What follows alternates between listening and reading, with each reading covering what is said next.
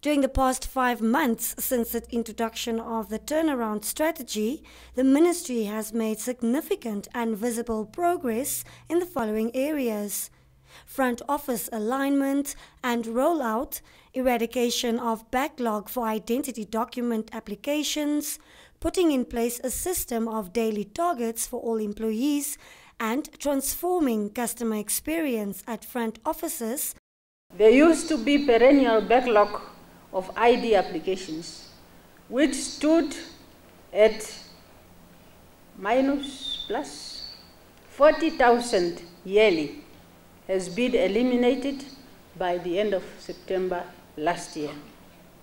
The processing of ID documents currently takes us only 12 days from the date of application at the regional office to the date of printing and send back. This is in contrast to the previous 120 days it used to take the ministry. A system of track and trace is in place, and our communication with the public in this respect is excellent. One other significant change within the ministry is the soon to be completed automation of historical manual records of birth, deaths, and marriages. Electronic birth and death records can already be viewed on the National Population Registration System.